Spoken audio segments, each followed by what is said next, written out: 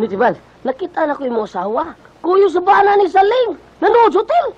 Kinsa gulyat? Ay, yung mga asawa, kuyo sa bana ng Salil. Nanood sila sa hotel. Mao ba? Taon sang saling no? Nagbisyom na iyang bana? Paditag tihiras day. Pasensya ka na ha. Damanunon, raba kay ko. Basta damanon ko, mananday raba ko. Parehas da eta. Damanon man sab ko. Basta, basta damanunon sad ko. Mm. Yung damanon ko na manguot ra ba kog itlog. Mayo ka nagyo sa imo pagkabuang. Oh, doktor. O niya, ano, imo mo nagibita yung mga asawa nga bagong naligo. Ako lang gihay-hay aron mauga. Maring anananggal, kumusta naman mo pagpangabat gabi eh? Pre, makalagot. Ngano man? May liog na unta kong gipaak pero napangag ko. Ngano man? Liog mang Bonifacio. Buhaton mo kuliat, palabuan na nimo. Nganong ni amo? Kini mga asawa ko si mong anak nang, doon naman ko inapo kabuk baboy. Lima tuod na.